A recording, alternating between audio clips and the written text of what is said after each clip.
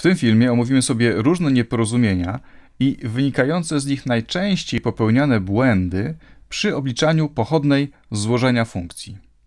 Tutaj dla przypomnienia mam napisany wzór na pochodną złożenia i spróbujemy go teraz zastosować do jakiegoś prostego przykładu i zobaczymy, jakie tutaj czyhają na nas potencjalne pułapki. Powiedzmy, że chcę obliczyć pochodną takiego złożenia, że będę miał logarytm naturalny od jakiejś innej funkcji, na przykład sinus x.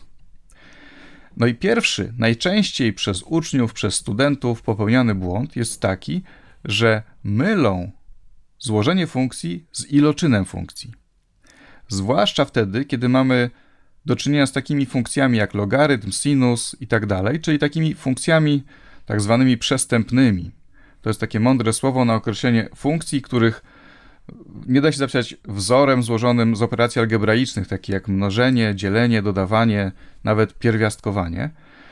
No i rzeczywiście, jak popatrzymy na to, no to może to wyglądać dla kogoś podobnie jak iloczyn, dlatego napiszmy sobie tutaj iloczyn, żeby zobaczyć, na czym polega różnica. Gdybym miał iloczyn funkcji logarytm i sinus x, no to wygląda to tak, jak się to napisze. No i teraz jak liczę pochodną tego, no to stosuję tutaj wzór na pochodną iloczynu. To jest iloczyn. Iloczyn, czyli obliczam oddzielnie dla każdego punktu x logarytm tej liczby, sinus tej liczby i następnie w każdym punkcie mnożę wartości tych funkcji. Mnożę logarytm tej liczby przez sinus tej liczby dla każdego xa. I tutaj mam wtedy wzór na pochodną iloczynu, który też wszyscy znają. To jest moja funkcja f od x, to jest moja funkcja g od x, o ta tutaj sinus. No i liczę pochodną iloczynu, czyli pochodna pierwszej razy druga, dodać pochodna drugiej razy pierwsza. Natomiast tutaj mamy do czynienia ze złożeniem funkcji. To znaczy, najpierw mam funkcję g od x, czyli ten sinus, i następnie na wynik działania tej funkcji działa funkcja logarytm. Czyli to jest zupełnie co innego niż iloczyn, dlatego że logarytm obliczam od wyniku działania funkcji sinus. Czyli to, co tutaj mamy w środku, to jest f właśnie od g od x. No i stosujemy ten wzór, który tutaj jest napisany u góry, czyli bierzemy, liczymy najpierw tę pierwszą część, no to może napiszmy, co to jest w tym konkretnym przypadku, czyli co to jest f' od g od x dla tych funkcji, które tutaj mam w moim przykładzie. No to tutaj pochodna logarytmu to jest 1 przez argument logarytmu. Taka jest pochodna logarytmu naturalnego, czyli to jest 1 przez argument logarytmu. Ale tutaj argumentem nie jest x, tylko argumentem jest g od x. A g od x to jest sinus x, czyli to jest 1 przez sinus x. I to jest ta pierwsza część, która tutaj jest podkreślona. No i drugi najczęściej popełniany błąd jest taki, że uczeń czy student kończy swój rachunek w tym momencie.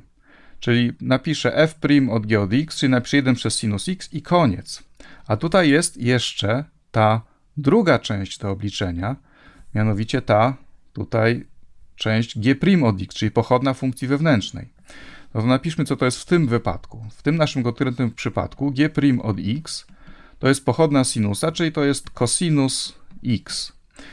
No i to jest dopiero obliczenie tej pochodnej, czyli tutaj muszę napisać tę pierwszą część, czyli 1 przez sinus x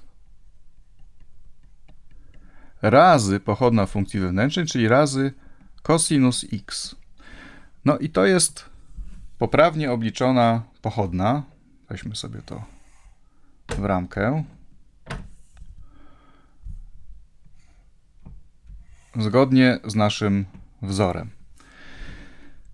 Czyli tak jak mówiłem, tutaj jest jeden częsty błąd, że mylimy to z iloczynem, drugi taki, że nie obliczamy do końca, zapominając o tej pochodnej funkcji wewnętrznej, czyli o tej części, którą tutaj mamy. Może podkreślmy też tą pierwszą część. No a trzeci często popełniany błąd jest taki, że na przykład ktoś pisze, że to jest pochodna tej funkcji f, f' od obliczona od pochodnej tej funkcji g, czyli coś takiego. W tym konkretnym wypadku takie wyrażenie byłoby równe. Czemu ono byłoby równe?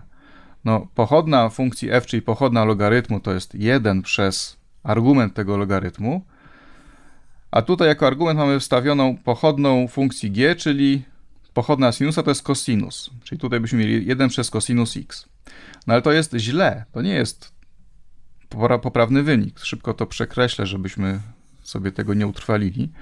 W ten sposób nie liczy się pochodnej złożenia. Pochodna złożenia to jest f' obliczone na argumencie g od x razy pochodna funkcji wewnętrznej, czyli g' od x. A to jest po prostu błędne wyrażenie, które nie wiadomo skąd się bierze, ale to też jest często popełniany błąd. Więc podsumowując, tutaj czyhają na, na nas różne pułapki, czyli po pierwsze trzeba rozpoznać, że mamy do czynienia ze złożeniem funkcji, a nie na przykład iloczynem.